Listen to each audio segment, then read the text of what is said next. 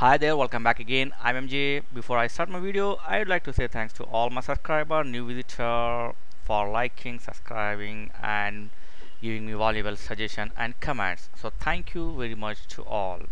So come to topic now. The topic is how to find or check virus in your downloaded movie software, apps, game or any other file so we all download uh, something from your some from the net like software and other stuff. So if you got virus how to check this? The simple thing is sometimes our antivirus uh, not identify uh, the particular virus. So for this we have one simple online website to check it.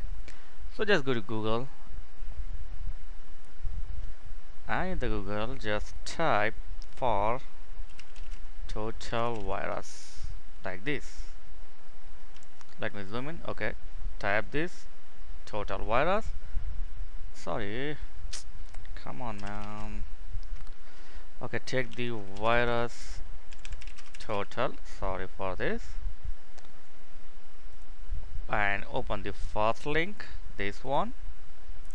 And you will get a simple user interface like file URL and search. So I have downloaded the file.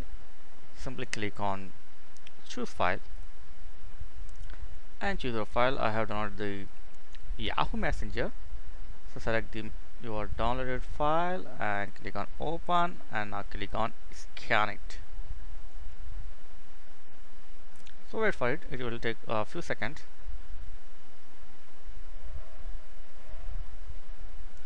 So now click on reanalyze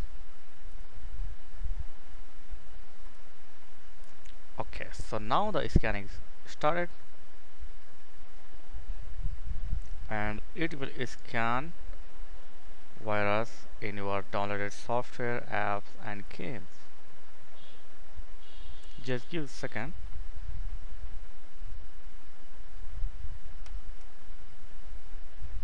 Come on do it fast okay done.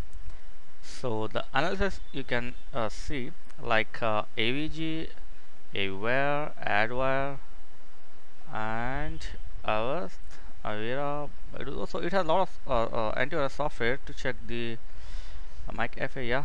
Antivirus Kaspersky K7 antivirus yeah. So all this thing is okay. So no virus found. Detection ratio zero. If you found one or two or three it's mean uh, it contains the virus. So 0 is it you are good to go. Look at that. So the message is uh, there are strong indicators suggesting that this file is safe to use.